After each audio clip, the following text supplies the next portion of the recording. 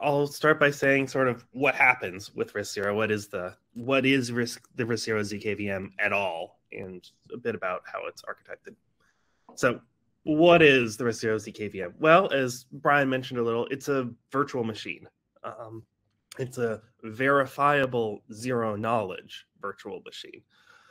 so, by virtue of being a virtual machine, um, it runs code. Uh, any if you have code that would execute on a physical RISC-V circuit of the same architecture, same specific RISC-V architecture as our virtual machine, running it on the RISC-0 virtual machine is going to work in the same way.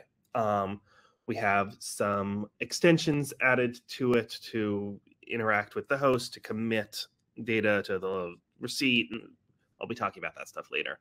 Um, but fundamentally, it acts just like an actual physical circuit would. It runs that code. Um, it's verifiable in zero knowledge, which means it's not just that it runs the code. It's not a bare virtual machine.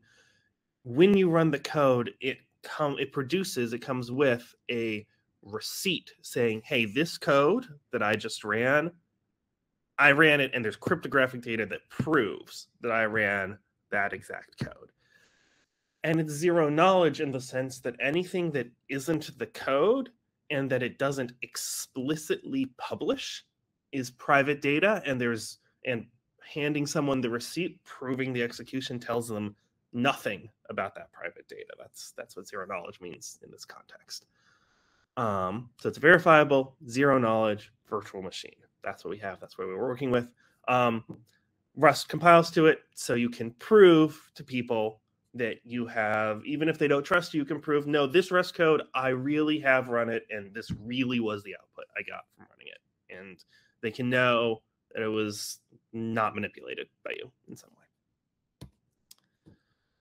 So, what does the architecture look like? Well, in some sense, you have a standard virtual machine architecture where there's a host and a guest, and the host emulates the guest, the guest executes whatever it's being asked to execute because we're in the zero knowledge context, the host can send the guest private data. Actually, in general, there's private communication allowed, but in the straightforward examples, the host sends the guest private data.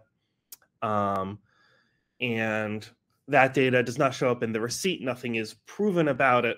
But what is proven is which code was executed on the data and the results of executing that code.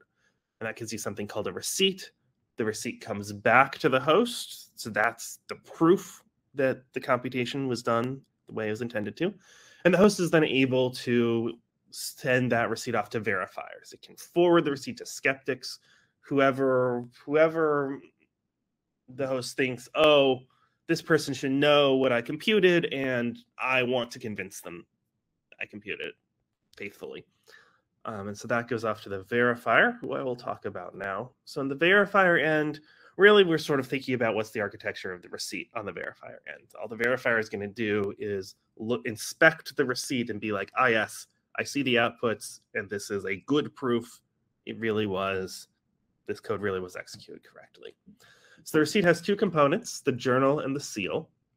The journal is what contains the outputs of the program. And these are public outputs. If you write it to the journal, anyone can see it. So this is the part, sort of the results that you are proving.